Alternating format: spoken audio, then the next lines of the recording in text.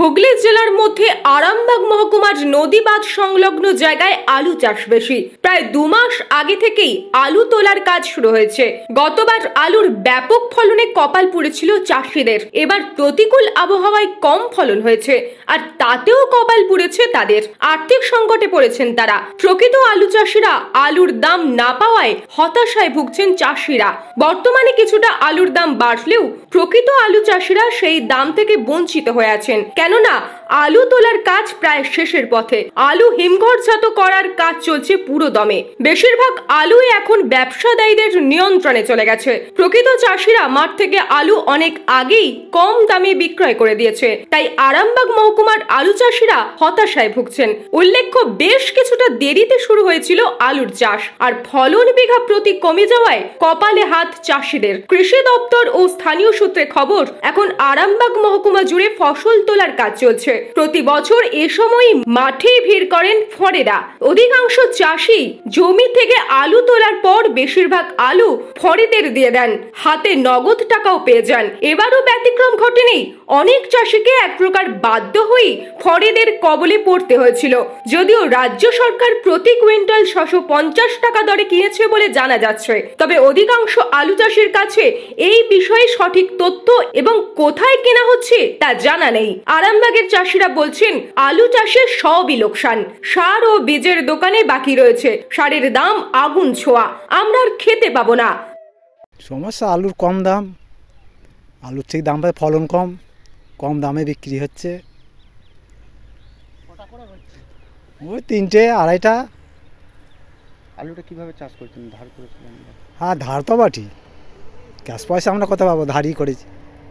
মহাজনের কাছ থেকে নিয়েছি বীজ সার সব ধারে। সারের কি দাম যায় সার দু হাজার টাকা করে বস্তা। পটাশ আরও বেশি দাম চল্লিশ টাকা কিলো পটাশ। এইভাবে নিয়ে চাষ করছি। জল দিতে। জল আছে আবার জল খরচাও রয়েছে আলাদা। ট্রাক্টার পঁচিশ টাকা মিনিট। মুনিশ আছে তোমার দুশো তিরিশ টাকা করে। এই পরিস্থিতিটা লাভবান না না এতে লাভ এই বছর এই বছর বাজারে লাভ করা যাবে না। মানে দেনায় পড়তে হবে লাভ করা যাবে না। ঘর থেকে দিয়ে দেনা শোধ করতে হবে। সরকারের কাছে কি চাইবেন কি চাইব? সরকার আর কি দেবে? সরকার কি দেবে? দাম তো দেবে না তো ঠিক। কি সরকার আর দেবে কি? হ্যাঁ। সে আর দেবে দাম? ক্ষতিপূরণ কি দেবে? দেবেন ওই বলবে দেবো, হয়তো দেখা গেল যে কিছুই দিলুনি তো এরকম হচ্ছে আবার কি। আর এক চাষি বলেন, প্রতি বিঘাতে আলু চাষে চার পাঁচ হাজার টাকা লোকসান হচ্ছে। সার, বীজ শ্রমিকে খরচ বেড়েই চলছে। আমরা প্রকৃত আলু চাষি, দাম পাচ্ছি না। আলু নিয়ে অবস্থা অবস্থা বলতে আলু সেরকম ফলন হয়নি। হ্যাঁ ওই চল্লিশখানা, পঁয়তাল্লিশখানা করে বিঘে আলু হচ্ছে। হ্যাঁ সার লগিদের দাম বেশি। হ্যাঁ আর এই বাজারও সেরকম নেই আলুর। এতে চাষির খুব দুর্নীতিও খুব খারাপ হচ্ছে। হ্যাঁ কী করে চাষবাস হবে? এ দেনা দান ফেনা করে সব চাষ হয়েছে। এ সদি বা কী করে করা যাবে? এ তো আমাদের দেখছি মরণের পথন এসে গেছে।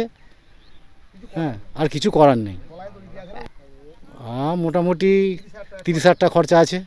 আর কতই বিক্রি হ্যাঁ বিক্রি হচ্ছে ওই তিনশো ষাট দুশো ষাট এরকমভাবে দেওয়া হয়েছে আলু। প্রথমে।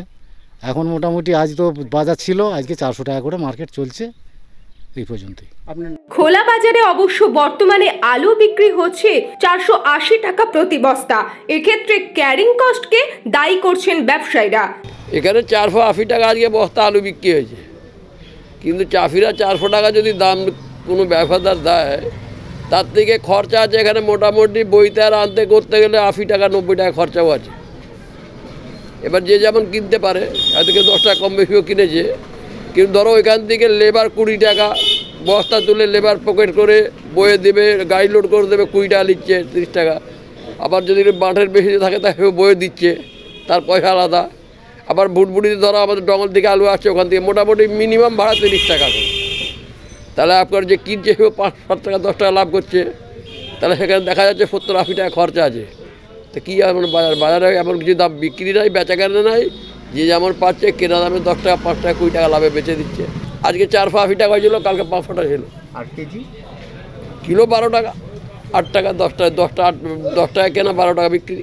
সব মিলিয়ে চলতি বছরে কৃষকদের দুর্দশা কিছুতেই কাটছে না। নিউজ আজ বাংলা হুগলি। নিঃসন্তান হওয়ার কারণ স্বামী বা স্ত্রী, যে কেউ হতে পারেন। আইভিএফ এর অ্যাডভান্স সায়েন্স আর এক্সপার্ট কেয়ার লক্ষ লক্ষ কাপেলের স্বপ্ন সার্থক করেছে। তাই বন্ধাত্মকে হারাতে আপনাদের অবশ্যই আসতে হবে আরামবাগ প্রাণ আইভিএফ ফার্টিলিটি সেন্টারে। এখানে চিকিৎসা করিয়ে অনেক দম্পতি সন্তানের মুখ দেখেছেন। আমাদের ঠিকানা আরামবাগ বসন্তপুর আমতলা, বিবেকানন্দ পল্লী দু নম্বর রেলগেটের পাশেই। Mobile number seven eight six five eight five eight seven eight one অথবা seven nine zero eight zero nine eight one seven two